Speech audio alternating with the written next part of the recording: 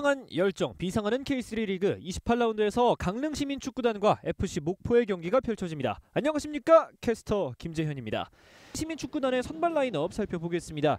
어, 김도근 감독의 선택, 황한준 골키퍼, 지병우, 박선주, 김선태, 이병욱, 차승현, 강용석, 백승우, 크리스찬, 주니오, 최남준 선수까지가 선발로 라인업에 이름을 올렸습니다. 기, 어, 정현호 감독이 들고 나온 선택, 이휘수 골키퍼가 골문을 지킵니다.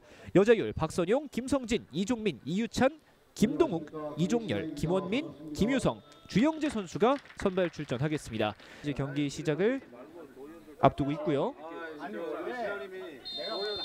네, 휘슬 올렸습니다. 양 팀의 경기 지금부터 출발하겠습니다. 화면 왼쪽에 강릉 시민 축구단, 화면 오른쪽에 FC 목포가 자리합니다.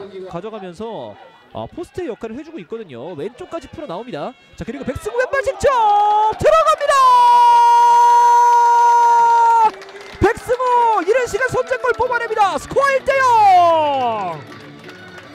아 주니오 선수가 내려와서 기회를 만들어주는 역할에 집중하고 있다라는 말씀을 드리기가 무섭게 주니오의 전환 패스가 이어지면서 크리스찬 거쳐서 백승우까지 갔는데 이 백승우의 왼발 슈팅이 정말 멋진 궤적을 그리면서 골문을 통과했습니다.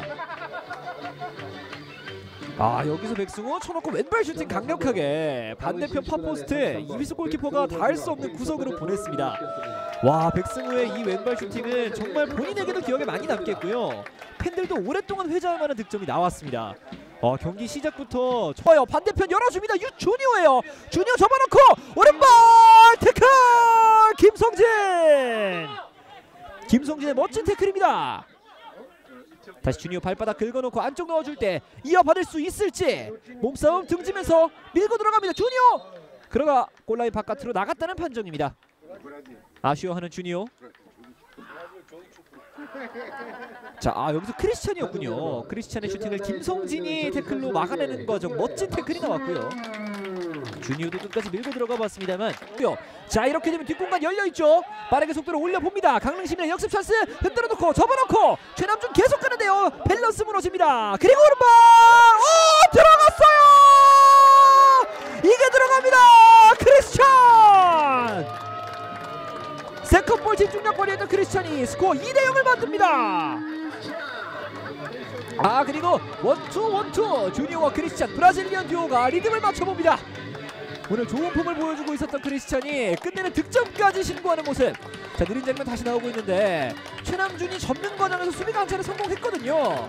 그런데 그 이후에 김성진이 한 번에 처리하지 못하게 강영석이 압박을 들어갔고 김성진의 컨트롤이 길었던 틈을 타서 크리스찬의 슈팅 구석으로 향하면서 절묘하게 골망을 갈랐습니다 아 여기서 이 강영석 선수의 압박 칭찬하지 않을 수가 없네요 김성진이 좋은 수비를 해줬는데 한 번에 clearing을 해내지 못하게 강용석이 압박을 들어왔기 때문에 크리스찬에게 슈팅 찬스가 났거든요.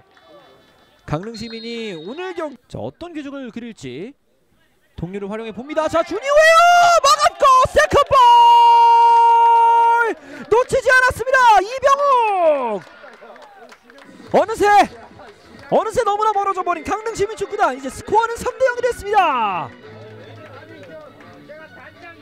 와 지금 박선주 선수의 킥이 정말 정확하게 들어갔고요 왼발로 높은 궤적을 그렸고 떨어지는 그 위치에 정확하게 주니오가 서 있었고 네 골키퍼가 펀칭을 한번 해내봤습니다만 펀칭한 공이 그대로 이병욱 선수 발 앞에 예쁘게 떨어졌습니다 이병욱의 득점으로 이제 점수는 3대 0 강릉시민 축구단이 3골차 크게 앞서 나갑니다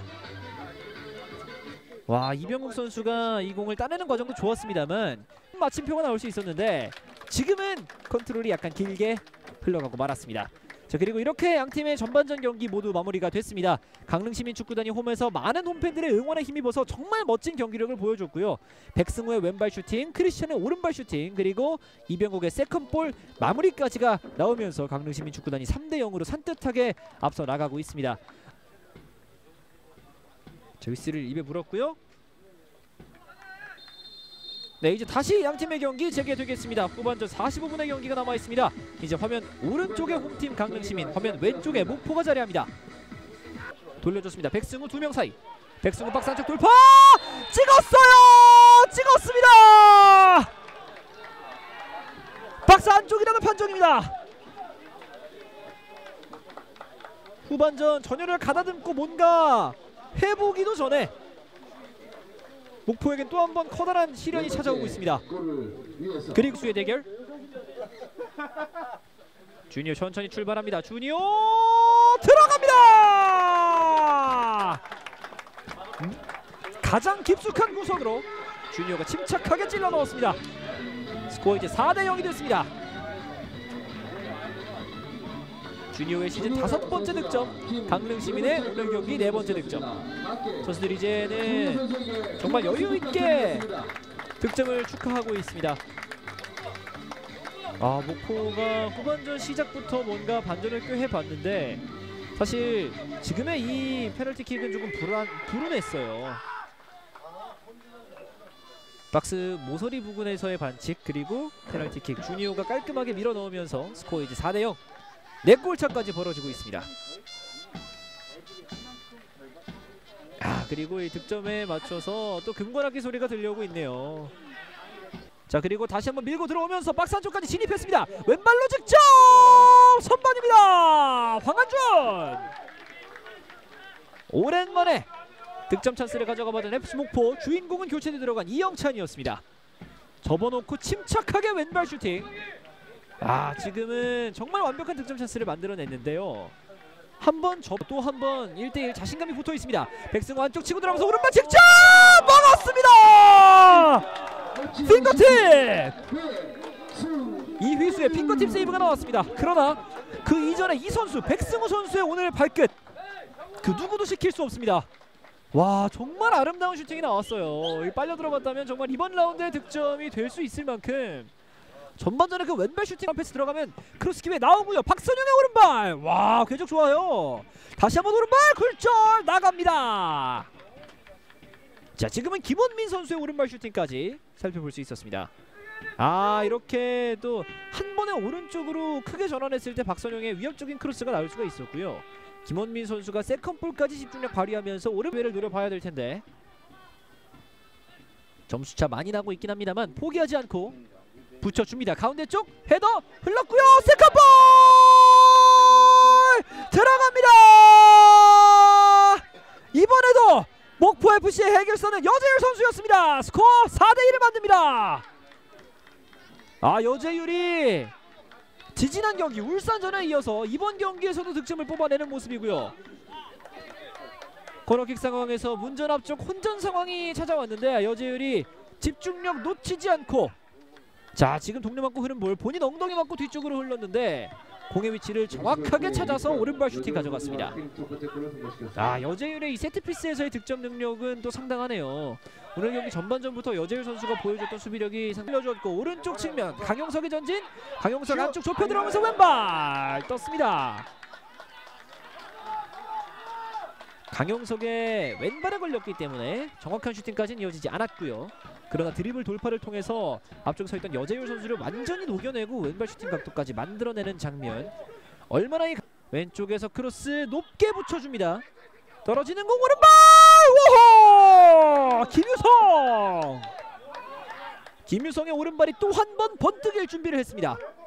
자 여기서 크로스 굴절되면서 굉장히 높게 떴는데 떨어지는 타이밍 정확하게 맞춰서 오른발 발리 슈팅 가져갔거든요. 쉽지 않은 슈팅이었는데 오늘 경기 정말 눈부신 활약을 보여주고 있는 김선태입니다. 자 그리고 헤더! 오! 머리 닿지 않습니다. 엄승민! 오른쪽 측면에서의 크로스가 날카롭게 올라왔고 엄승민이 끝까지 따라가서 머리를 갖다 대봤습니다만 머리를 스쳐 지나갑니다. 아 김진욱 선수가 오른쪽 김유성 밀어줬고요. 박스 안쪽 오른발 슈팅 슈퍼 태클 지병호입니다. 김기찬의 슈팅 지병호가 막아냈습니다.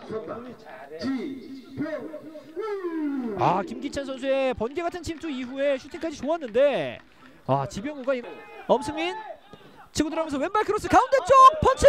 second ball 정채건 정면입니다. 이휘수 잡아냅니다. 아 목포가 지금 집중력이 흐트러진 틈을 타서 강릉 시민 선수들이 한번 마지막 공격 찬스 가져가 봤는데 지금은 정채건 선수의 마무리 슈팅이 너무 정직하게 향했습니다. 찬. 아 이영찬 이 패스 끊겼어요 자 그리고 이렇게 양 팀의 90분 경기 모두 마무리가 됐습니다 전반전 시작부터 후반전 끝나는 그 순간까지 뜨거운 응원을 보내줬던 강릉의 홈팬들 덕분에 강릉시민축구단은 4대1의 기분 좋은 승리를 가져갑니다.